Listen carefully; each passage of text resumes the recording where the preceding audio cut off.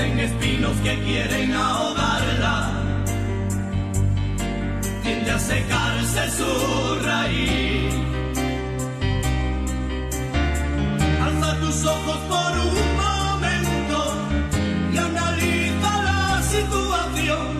Si tiene frutos tu sarmiento, o ya hace tiempo se secó.